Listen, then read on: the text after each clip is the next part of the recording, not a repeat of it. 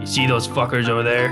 You see them? Yeah. Right here. They have done absolutely nothing wrong, but they're blue. I've always hated the color blue. You know why? Why? No reason.